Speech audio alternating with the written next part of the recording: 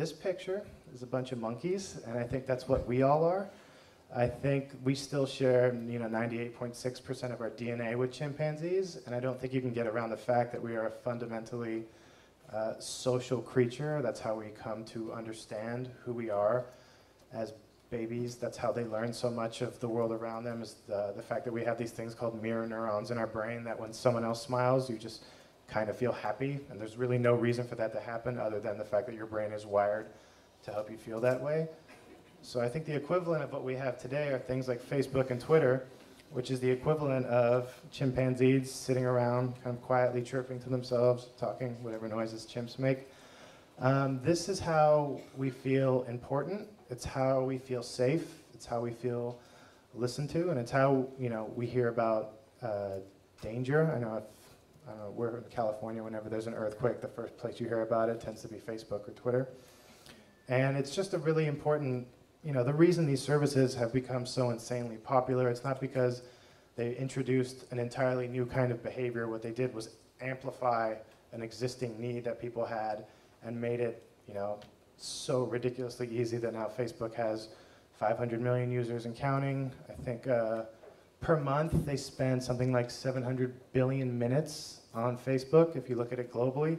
And I think per month each person generates around 90 pieces of content. So that's three you know, that's like three things a day just being added, and pretty soon I think they're gonna, you know, the writing's on the wall that they're gonna become bigger than Google, which I think speaks a lot to the fact that while as creatures we like to search for information, we actually prefer to get it told to us by our friends. Another huge thing, I don't know how many people in here are gamers. I'm personally not a gamer that much. I peaked with GoldenEye for N64.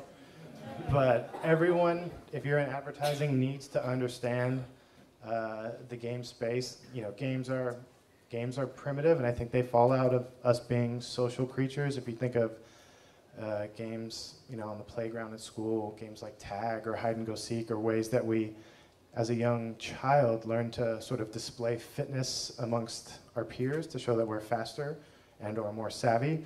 Um, I think a lot of successful teachers are able to turn school into a game of sorts to make it fun, but also to instill that element of competitiveness.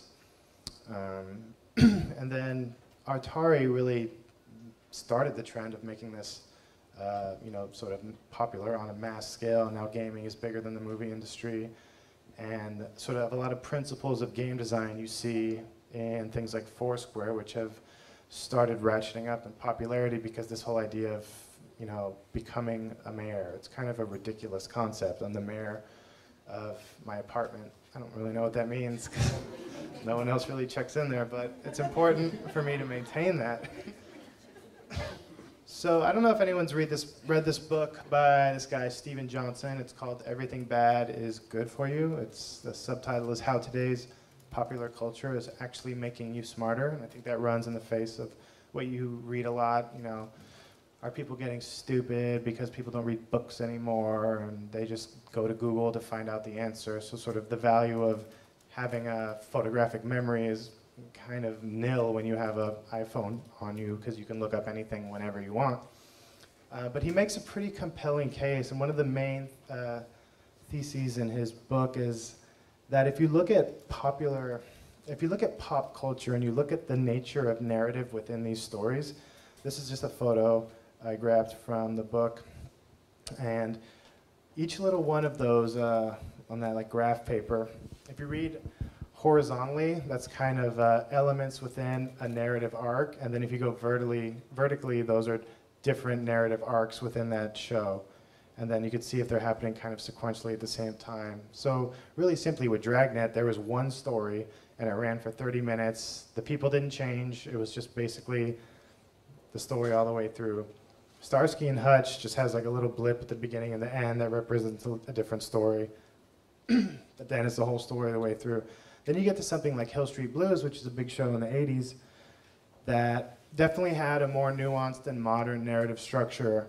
Um, but it really gets interesting when you look at The Sopranos below that, where you could see that there are many more story arcs sort of happening simultaneously within the larger narrative of the story. And it just requires a lot of cognition and extra processing to try and keep up with all these different characters how they're interacting with each other, and how these interactions affect the larger narrative as a whole. Stories are inherently more complicated now, and we actually like more complicated stories. Um, if you're, I've worked in TV a lot, and if you pitch TV ideas that actually don't have these complicated stories, like TV networks don't buy them anymore. Um, so when it comes to storytelling, you actually can't, you can't be simplistic about it anymore. Like that's no longer interesting. You have to be kind of multifaceted and a little bit messy. And I'd even argue if you look at something like Jersey Shore, it would have an equally complicated narrative arc because I think you'd have to expand it to the stories that actually happen in real life and are captured by, you know, amazing magazines like Us Weekly or websites like Perez Hilton because I think with the blending of whatever's happened with celebrity or whatever, I want someone to write a really interesting academic book about that. But those stories have actually gotten increasingly complicated because the lines have been totally blurred. And just like Hamish was saying, people like complicated stories. They like kind of closing the loops in their own head and feeling like they're a part of it. And there's this quote from this really smart strategist, Russell Davies. Nobody comes out of a movie saying, that was a really good film. I really enjoyed it. It was really clear. You know, that's just not a thing. That's a, that's a not, not a natural feeling to have because that would be boring, essentially. Um, so that's led to a lot of interesting work. I mean, this is just, we didn't want to sit here and go through case study after case study, but I hope you're familiar with the funtheory.com, something DDB Stockholm did for Volkswagen, a lot of great videos there. Um, just doing a little bit of behavioral economics and making things like taking the stairs a game. I think it showed a really good understanding of how people like to play these social games with each other and how that could be motivating to change behavior. Uh, the one to the right of that, the little cartoon guys for Fiat, for EcoDrive, that was a little interesting bit of technology they built into their cars that lets you track how efficiently you were driving. So it's kind of like what the Prius does, but this was uploaded to a site. And it made a game out of, you know, how much mileage could you save driving if you took the right route or if you kept your speedometer in the right zone. Um, Pepsi Refresh, I think everyone's pretty familiar with. Um, Art of the Trench by Burberry is kind of a pretty progressive for a fashion brand, which aren't known for that being progressive. But it was basically kind of a social browsing and inspiration piece where they partnered with the sartorialist, who's a well-known blogger, and another uh, other couple of photographers. They also allowed for socially for user-submitted videos, and it was just all focused around that classic, iconic Burberry trench coat and all these different takes on that trench coat. And then another thing I really love, if you guys have seen um, those Chrome videos for Google, BBH, I believe, has been doing those.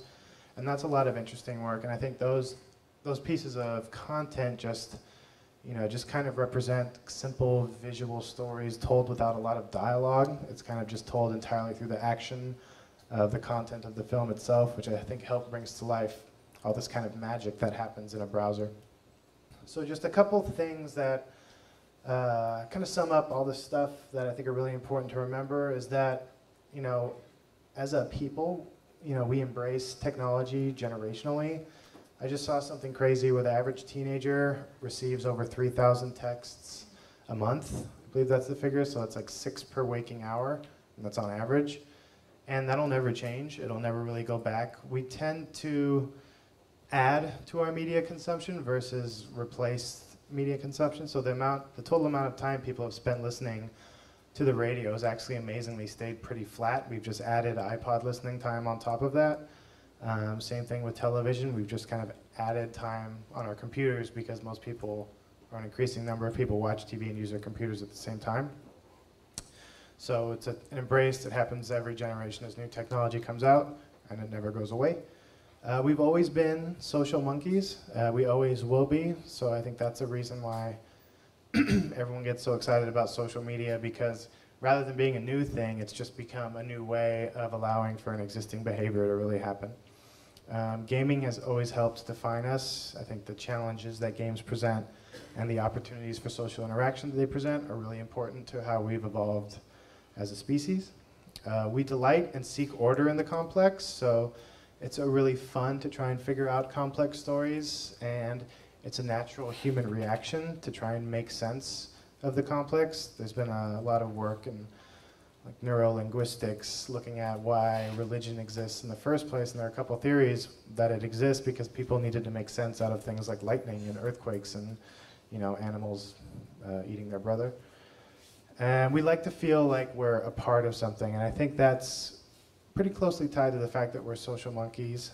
But it's also just this idea that, you know, if we can be part of sort of a larger storytelling experience, it helps define us uh, in a way that is special and unique. And that's why we sort of seek out and share these kind of unique stories with people that we consider our peers.